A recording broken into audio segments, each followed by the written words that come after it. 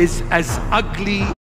Is as ugly as you could imagine and beyond your imagination. He is absolutely hatred. He is not full of hatred. He is hatred itself. You have no idea how much hatred he has for every single soul. More so, those who belong to Jesus Christ. He is on fire. He wants to shred you to pieces, burn you. It is the Lord who is protecting you. Outside of Christ, He will swallow you before you blink your eyes, no matter how smart, how strong, how wise. Forget about it. You cannot surpass the wisdom of Satan. He is over 5,000 years old. You cannot surpass that wisdom. How old are you? 20, 30, 50, 100? He is thousands of years of wisdom.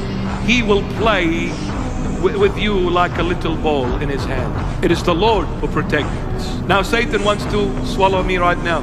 Oh, he wants to come and rip me. Get lost. Satan is as ugly as you could imagine.